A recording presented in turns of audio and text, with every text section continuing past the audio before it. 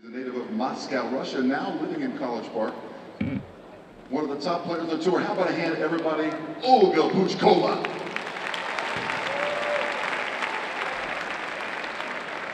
Two minutes.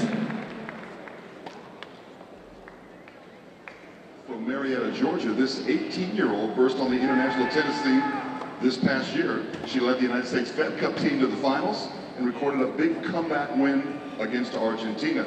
In May, she showed promise by winning back-to-back challenger events at Indian Harbor Beach and Rorley. Dementieva, former number one Maria Sharapova, and number 13 Nadia Petrova. Starting the year at 177, she's now up to number 49 with a bullet. Please welcome the fast-rising, the delightful Melanie Oudin!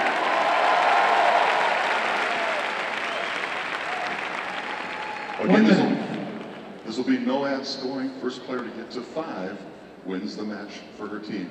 Let's hear it for this great match, Olga against Melanie.